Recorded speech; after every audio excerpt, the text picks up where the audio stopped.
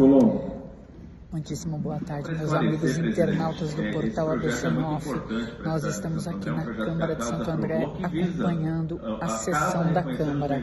O vereador e presidente da Câmara, Carlos Ferreira, acabou de anunciar que na quinta-feira próxima, dia 22, haverá a sessão extraordinária da Casa, onde será votado o aumento salarial dos funcionários públicos do município, que já foi estipulado em 7%.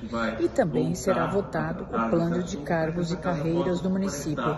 Nesta sessão, o vereador Renatinho do Conselho pediu licença de 15 dias para tratar de assuntos pessoais e no lugar dele assumiu o vereador Gileno. Andréa Brock para o portal ABC 9. que oraciones Sion